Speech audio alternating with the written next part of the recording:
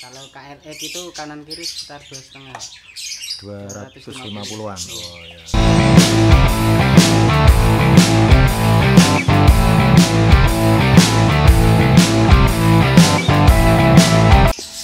Oke, eh, jumpa lagi dengan channel saya.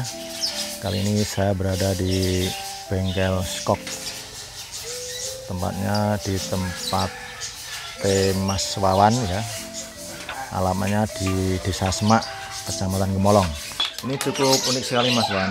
Eh, bengkel Anda ini tergolong nyempil ya di tengah masuk masuk kampung ya masuk kampung ya. Ini dusun Semak ini ya. Dusun Semak RT 8 RT 8. Gemolong. Iya.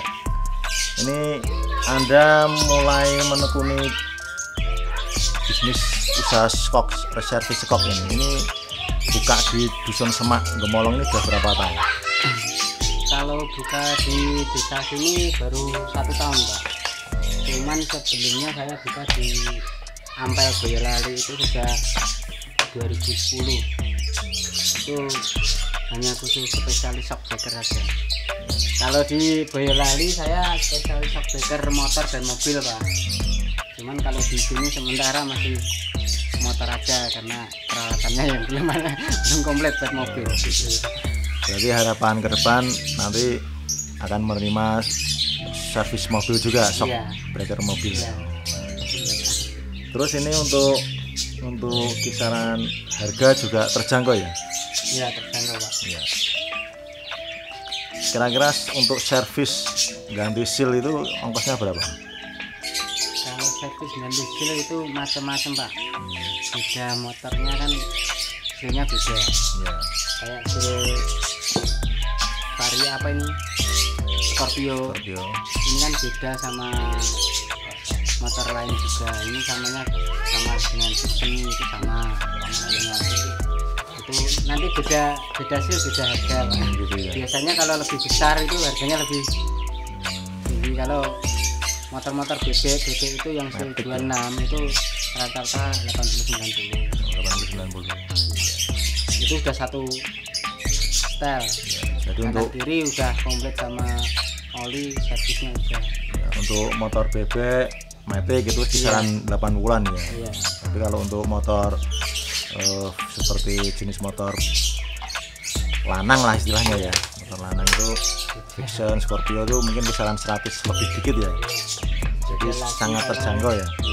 beda lagi kalau motor ini kayak Debaker Hmm, KLX Iya, itu beda KLX. lagi beda lagi soalnya kisaran kisaran berapa itu? kalau KLX itu kanan kiri sekitar dua setengah 250-an. Oh, ya. Masih terjangkau ya. Masih terjangkau dibandingkan untuk daerah Solo ya.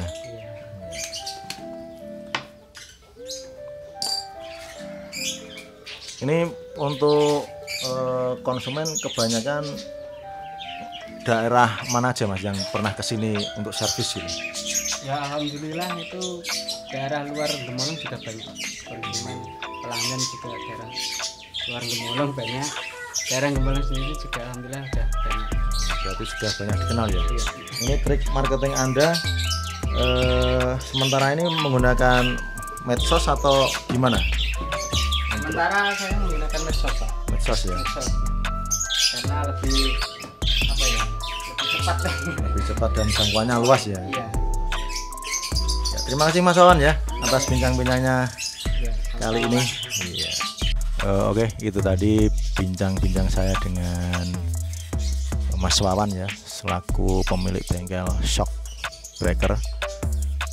Bagi kalian yang ingin menservis shocknya, jika ada kerusakan ya bisa datang ke sini.